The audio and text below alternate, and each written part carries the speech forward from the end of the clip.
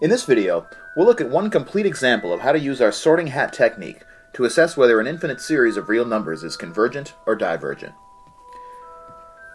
We're going to work on this example, the summation of negative 1 to the n times n squared plus n all over the quantity 2n factorial.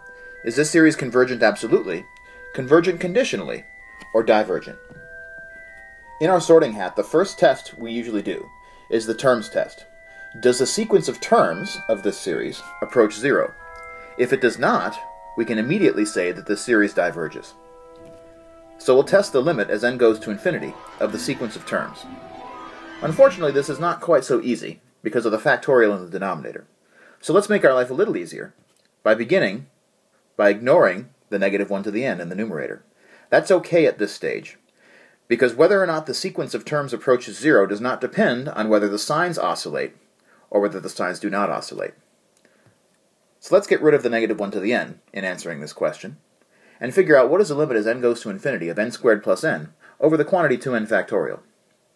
We'll make our first use of the order thermometer, engaging which between the numerator and the denominator approaches its limit more quickly at a higher order.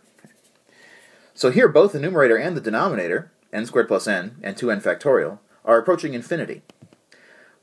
But the denominator, being a factor of factorial speed, is reaching its limit more quickly at a higher order than the numerator is. So the conclusion we can make here, the 2n quantity factorial, is getting to infinity, quote unquote, before the n squared plus n is.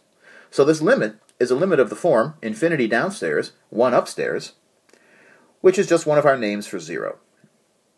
So we conclude that yes, the terms of this sequence approach 0, according to our order thermometer heuristic.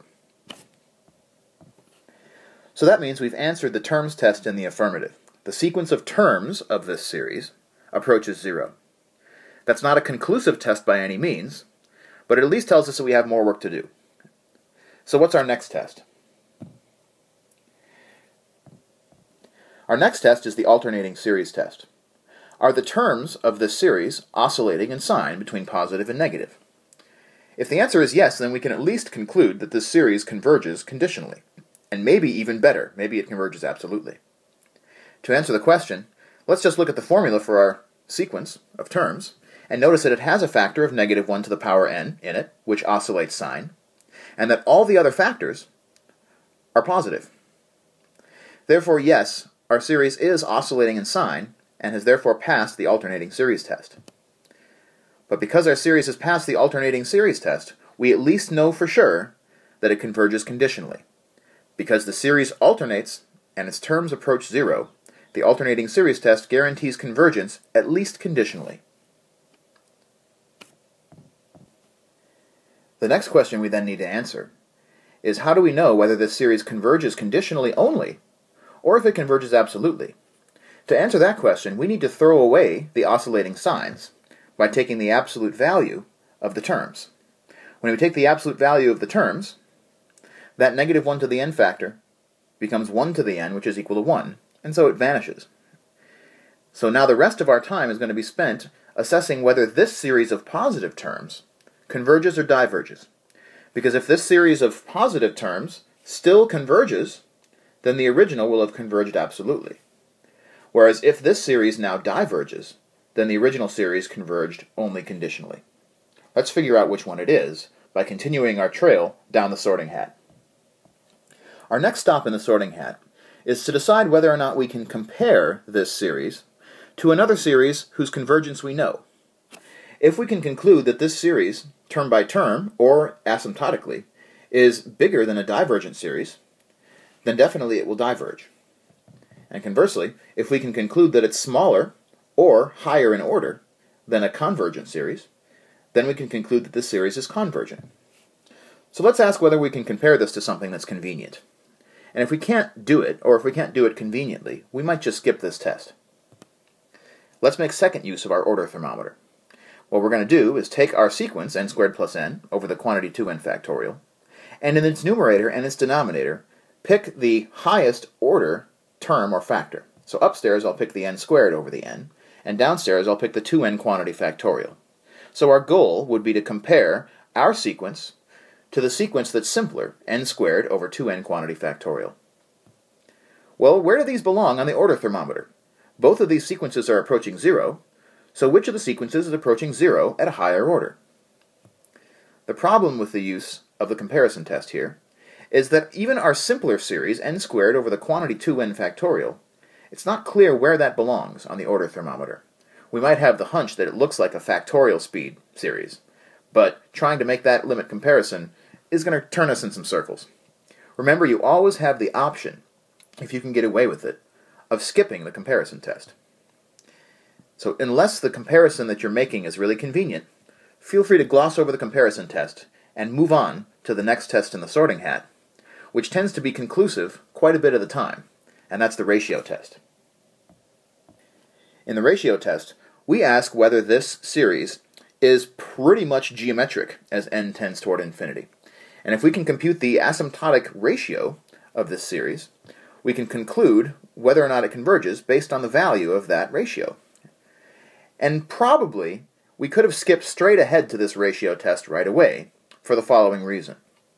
Taking a look at the two kinds of factors we have in the numerator and the denominator, we've got a polynomial factor upstairs. And polynomial series tend to have asymptotic ratios of 1. But downstairs we have a factorial, and factorials tend to have asymptotic ratios of 0. So that means if the factorial is really dictating the behavior of this series, the ratio test should give us a really conclusive result, and we predict that when we do the work, that the asymptotic ratio of this series is going to be equal to 0. And if that's the case, then because the asymptotic ratio is less than 1, we will get convergence via the ratio test. So our prediction now is if we subject this series to the ratio test, we should find an asymptotic ratio of 0 and be able to conclude that this series of positive terms converges. So let's find out. To compute that asymptotic ratio, we need to divide the n plus first term of our series, which we can get by replacing n by n plus 1 carefully in the formula. So n plus 1, the quantity squared, plus the quantity n plus 1, all divided by, careful now, twice the quantity n plus 1, the quantity factorial. So there's the n plus first term, and then downstairs we have the nth term. Dividing the n plus first term by the nth term gives us the ratio, which we're then going to take the limit of that as n goes to infinity. Before we can determine this limit, let's simplify. First by taking the compound fraction and making it a simple fraction, and when I do that, I'm going to group those factors that are like one another next to one another. So I've got the ratio of the two factorial pieces, 2n factorial, divided by twice the quantity n plus 1, the quantity factorial. And then I have n plus 1 quantity squared plus n plus 1 divided by n squared plus n. And what I want, again, is the asymptotic ratio, i.e. the value of this ratio as n tends to infinity. But first, I'm going to take that 2 times the quantity n plus 1 that we had in the factorial downstairs and distribute the 2. This is another step that's very easy to screw up, so watch it one more time. Twice the quantity n plus 1, distributing the 2, becomes 2n plus 2. Now we're ready to ask the question, well, what happens to this as n goes to infinity?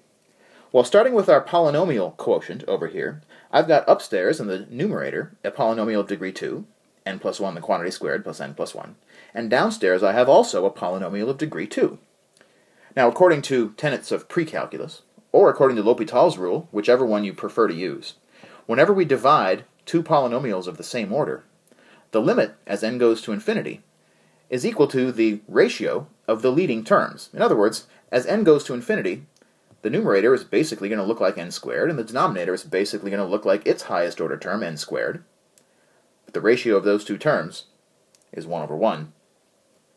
And so this factor, this fraction, is going to contribute a factor of 1 to my asymptotic ratio.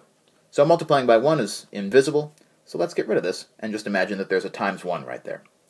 Now to simplify the factorials. And I always write it out so that I don't screw it up. Upstairs, the quantity 2n factorial is the product of 2n, and 2n minus 1, and 2n minus 2, and every smaller uh, natural number down to 3, 2, 1. Downstairs, 2n plus 2, the quantity factorial, begins with 2n plus 2, 2n plus 1, and then 2n, 2n minus 1, and so on, all the way down to 3, 2, and 1 also. And whenever you simplify factorials, there's a bloodbath of cancellation that happens. Namely, every single factor in the numerator has a matching factor in the denominator. And so when everything is cancelled, the only factors that are left over are the 2n plus 2 and the 2n plus 1 in the denominator. The numerator, everything is cancelled, becoming 1. So when I take the limit as n approaches infinity, this limit has the form 1 over infinity, which is one of our names for 0. Therefore, the asymptotic ratio of this series is equal to 0, and that's great news because that means that our ratio test conclusively shows, because that ratio is between 0 and 1 exclusive of 1, because our ratio is less than 1 in other words, the ratio test guarantees that our series converges. Therefore, this series of positive terms converges. And that means that the original series that had the alternating minus 1 to the n in it converges absolutely. So just a quick recap. But before we recap, one more comment. The very last test, the one that we didn't even bother to try in this example, is the integral test. It's at the bottom of the sorting hat because usually it's the most complicated one to use, because finding antiderivatives is a messy business. So we didn't use the integral test here, but that's okay, because we had a conclusive result by the time we got to the ratio test. To recap, what we did was we first looked at the original series and applied the terms test. Does the sequence of its terms approach zero? the answer was yes. Which means let's keep going, because we can't rule out the fact that it's divergent. Then the alternating series test told us that because the signs of the terms were alternating, the series is at least conditionally convergent, and it might be absolutely convergent, but it's definitely not divergent, because it's an alternating series whose terms go to zero. Then to continue, we took the absolute value of the terms and asked, is there a comparison that we can make between this positive term series and a nicer positive term series? And we decided to take a pass on that one, that there wasn't really a known series that we could compare it to that was convenient. So we went right for the jugular and the ratio test.